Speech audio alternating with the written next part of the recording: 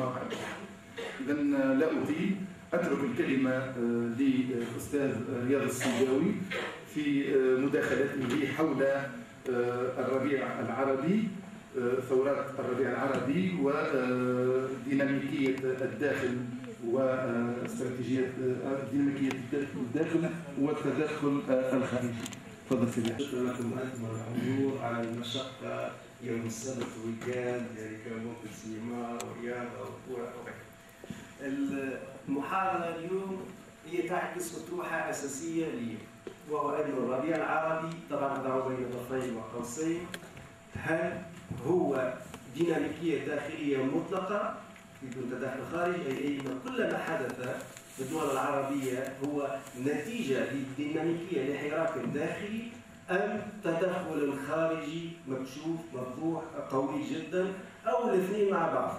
سترون ترون منهجية سنتحدث عن الاثنين لكن لنؤكد أيضا على التأليف. التأليف أنه ما يحدث الآن في الدول العربية هو في الآن نفسه ديناميكية داخلية حقيقية.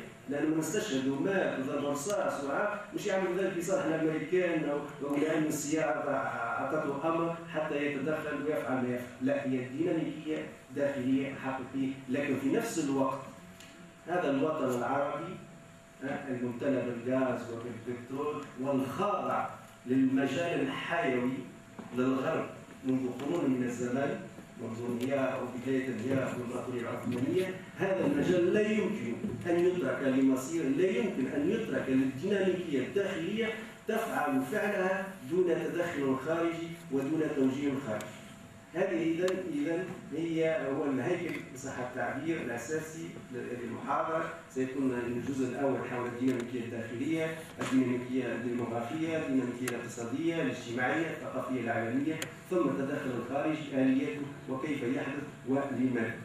طبعا المقدمة الأولى هي مقدمة فهمية نعرف مفهوم الثورة فيه إشكالية، لما نقول مفهوم الثورة في العلوم السياسية سنختلف. حسب المدارس حسب وجهات النظر حسب الرؤى حسب الأنظمة الجامعية ما هي ثورة ثم تعريفات كثيرة فيها وهو مفهوم ليس محل إجماع. مثل مثلا أيضا مفهوم الإرهاب هو مفهوم ليس محل إجماع. محمد الجربوع بشير بزديرة الدرباجي مصباح جربوع عفوا محمد الدرباجي كانوا إرهابيين بالنسبة للسلطات الفرنسية والصحافة الفرنسية. مناضلين مجاهدي جيش التحرير الوطني في الجزائر كانوا ارهابيين دي تيروريست الصحافة الفرنسية. بالنسبة لشعوبهم أو لسجنهم الاجتماعي هم وطنيين هم مجاهدين هم مناضلين اذا هذه المفاهيم الحساسة تتحدد حسب زاوية الرايه من أين ننظر إلى المشي نحن فيما حدث اليوم أكاد أقول اختلط الحابل بالنابل ثم غموض ثم اختلاط خاصة في سوريا خاصة في ليبيا. تدخل حلف اطلسي قصف المدن العربية. آه، آه، ثم استثمار إعلامي كبير جدا يحدث. ثم غسيل الأدمغة. ثم ثم manipulation manipulation تلاعب إعلامي سياسي بما يحدث. هنا سأستعين يعني بعض النماذج النظرية في علم الاجتماع الثورة. آه، وسترون ان بقدر ما أنتقد السياسة الأمريكية وقد نستخدم مناهجها هي حقيقه متطوره العلوم السياسيه الأمريكية. بالمقارنة مع الفرنسية متطورة جدا.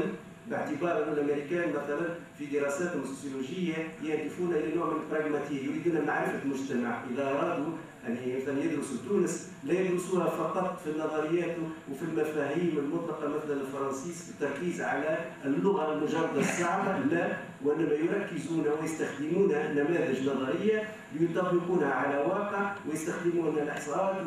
وكان أقول هو عمل نوع من الاستقصاء الإعلامي الصحفي مع نموذج نظري.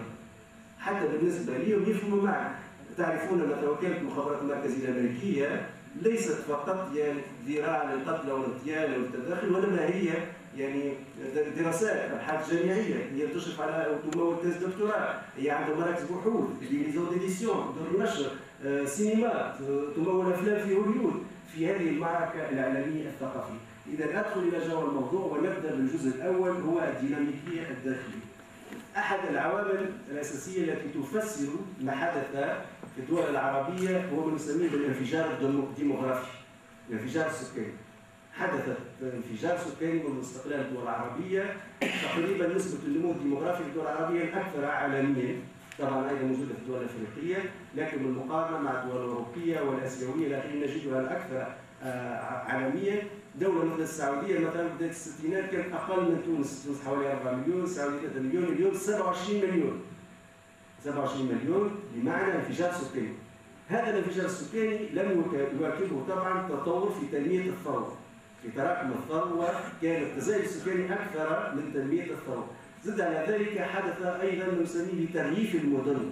حدث نزوح كبير من الريف إلى المدينة باعتبار أن الأنظمة هذه الجديدة لم تهتم ب لم تهتم بالفلاحين والفلاحة فحدث تريف المدن وهي كانت بعد الثورة في مصر في تونس حي التضامن من النازحين هو الذي يتحمل أكثر ما يمكن من هذا الضرب ومن هذا القمع الوحشي. الديناميكية الاقتصادية هي عن طريق تفاقم البطالة تزايدت البطالة بشكل كبير كما قلنا ولم تواكب الانفجار الديموغرافي بعد البلدان مثل السعودية إذا حسبنا عدد النساء عطلة العمل 50% لأنه لا يتحدثون عن النساء مع 20% يعني 75% من المجتمع عاطل عن العمل. انكماش الطبقة المتوسطة حدث انهيار كبير للطبقة المتوسطة. أنا الوالد يقول التقاعد اليوم تاعو 555 دينار كان ياخذ 47 دينار متر الأرض بجنبه 20 مليون اليوم متر الأرض بجنبه 100 دينار و150 دينار.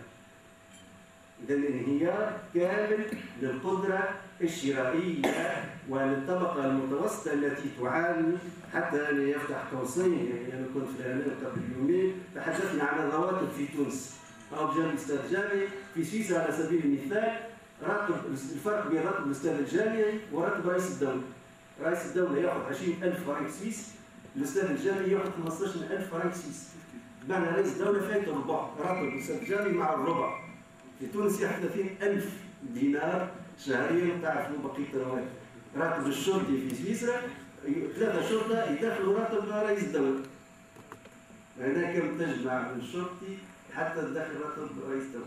إذا هذا انهيار القدرة الشرعية للطبقة المتوسطة باعتبار أن دائما هي اللي توجه الاتجاه مع طبعا المظاهر الجديدة من البضائع الاستفزازية التي تدخل أنا داخل وشايف في الطيارة نقرأ الآيفون 5 ب 1700 دينار يعني أغلبية الشعب التونسي لا يستطيع أن يشتري آيفون 5 ب 1700 دينار لكن ذلك سيحدث أزمة سيكولوجية سيحدث توتر اجتماعي كبير سيتراكم شيئا فشيئا إلى أن يحدث الانفجار عن طريق هذه البضائع الاستفزازية، ثم بضائع تستفز 95% من المجتمع تستفز لأنها معروضة كعملية استفزاز يومي فيحدث محاولة الوصول إليها فلا يحصل لها فلا يحصل لها هذا الشباب. إذا هذه الديناميكية الاقتصادية وتراكمات. هذه الديناميكية الثقافية أي إعلامية. دائما إطار الديناميكية الداخلية الدولة الديكتاتورية ساعات دائما إلى احتكار مطلق للإعلام وخاصة الإعلام الثقيل أي التلفزيون تلفزيون تسيطر على التلفزة لا أحد يتدخل إلا بإذنها الأجهزة التعليمية تسيطر على التلفزيون باعتبار أنه هذا الذي يصنع العقول. لكن حدثت ثورة تكنولوجيا الاتصال بمعنى أن التطور التكنولوجي جعل من الدولة عاجزة عن مراقبة المعلومة ومراقبة الخبر. عن طريق الفضائيات التي دخلت كل الفضائيات أجندة خاصة أيضا وليست بريئة كما نتصور. الظاهرة الثانية في ثورة تكنولوجيا الاتصال في إطار هذه الديناميكية العالمية هي وسائل الاتصال. على سبيل المثال فيسبوك. أنا ما أعرفش لماذا مثلا في الخليج يستخدمون كثيرا تويتر. تويتر مشهور جدا. إحنا في المغرب العربي وخاصة في تونس الفيسبوك. الفيسبوك أصبح وسيلة إعلام خاصة للمواطن وسيلة احتجاج ضد الدولة. المواطن نفسه عمل موقع فيسبوك ينزل ال portable نتاعو يصور المظاهرة وينزلها في الفيسبوك وبعد هذه المظاهرة أو عمليه القتل تبث في سي ان ان في نيوز وفي الجزيرة وفي غيره. لأن هذا المواطن حتى مع احتكار الدولة للمعلومة والمساهمة في نشر المعلومة بشكل يعني بامكانياته الخاصه. لكن مع المحاذير فيسبوك أمريكي كل ما يكتب وتخرج شوف فيسبوك هو عند الامريكان عند السيارة تمسح الكونت بتاعك تمسح ما كتبت تمسح. هم يحتفظون بذلك دولة مثل الصين مثلا إدارة الأمن القومي تمنع الفيسبوك.